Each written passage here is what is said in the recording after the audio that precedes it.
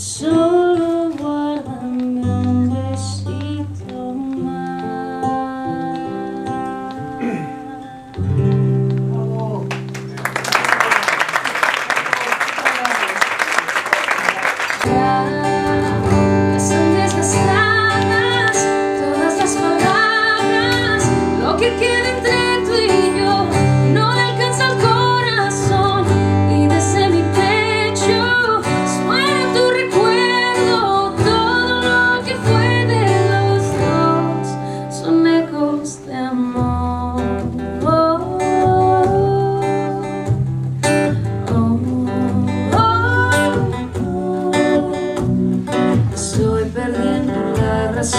me hablas en cualquier canción, tu nombre está en cada palabra. Estás tan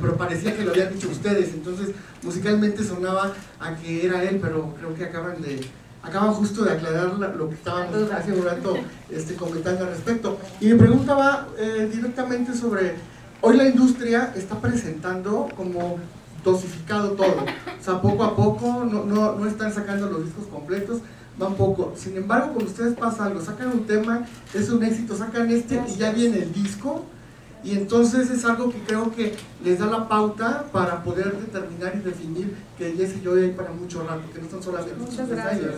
Mi pregunta es, ¿cómo le van a hacer con el siguiente reto? Porque esto quedaron transparentes, es decir, fueron, No me pongas nerviosa. se, se- se desnudaron de la piel y dijeron, es algo muy, pero muy íntimo este disco.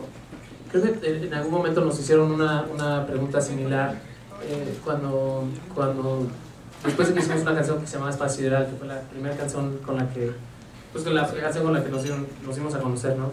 Y pues eh, proporcionalmente con un- un- una banda que estaba empezando, eh, la reacción fue, fue positiva, ¿no? Y, y- y fue una canción que, que, que tuvo buena aceptación a nivel regional y, y en Estados Unidos. Y, y nos preguntaban, y dijimos, es que tenemos claro que nunca vamos a hacer una canción como Espacio Ideal, y Espacio Ideal será Espacio Ideal, ¿no? Eh, estaremos haciendo otra cosa, simplemente eh, trataremos de, hacer algo diferente, le, echaremos ganas, le ponemos corazón y, y en ese momento salió una canción que se llama Chocolate, eh, después salió una canción que se llama Corre, después salió una canción que se llama Llorar, la de la mala suerte, ahora Ecos de Amor.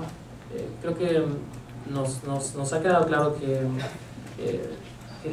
la gente no consume géneros, la gente yo creo que consume buenas canciones, ¿no? Eh, porque te, te metes al- a, los listados de, de popular- popularidad y, y vas a ver, eh, no va a haber un patrón de, de- de estilo de música, siempre va a, haber, va a haber un patrón de buenas canciones, ¿no? Y eso ha sido eh, ahorita y hace 30 años, solo que ahora con, con y el Popocatépetl, eh, representando ahí pues nuestro lado mexicano.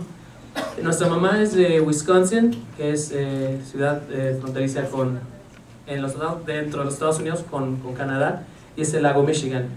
Entonces es ahí enseñando un poquito eh, nuestra agricultura. Y en, el, en el, la bodega donde tomamos las fotos en Londres del, disco, había una estrella que estaba como, a- como arrumbada, se veía, se veía muy coqueta, toda vieja y teníamos, le faltaban unos focos, entonces pedimos que si la podían conectar y se prendía ahí, eh, le, le fallaban unos focos y terminamos pidiendo que tomaran fotos para usarla como elemento que se veía, se veía coqueto.